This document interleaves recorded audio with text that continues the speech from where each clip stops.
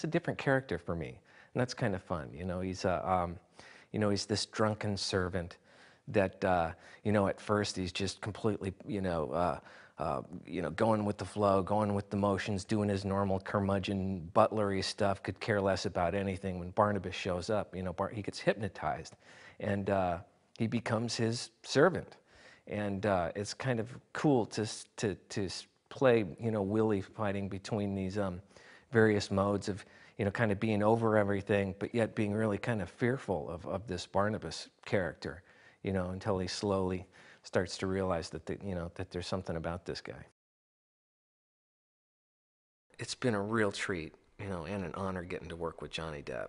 Um, it was uh, it was wonderful to get out here to, to, to see what a, uh, a, a sweet human being the guy is. I mean, he's always got a smile on his face. He's super friendly.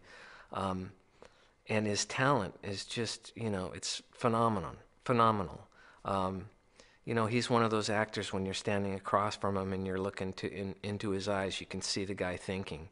Uh, and that's something that that makes you think you know? It's acting is really about reacting. And when you get the opportunity to work with such a an incredible actor who's so um, you know just honest true and real where just everything is you know it's there it's happening. It's not uh, it's not just saying lines. It's the kind of stuff that um, that that you react to. One of the things that was so exciting, you know, as well as many things about doing this project, but was getting to work with Tim Burton. I mean, the guy is, uh, you know, he's a consummate filmmaker.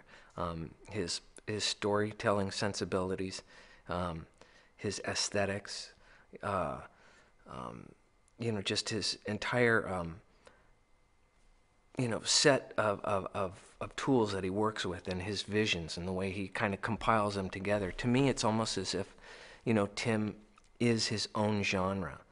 And um, you know his thumbprint is uh, you know on every frame of this movie. And um, you know i think the tim burton genre you know combined with with the dark shadow thing i think his sensibilities on this motion picture are just like you know a perfect marriage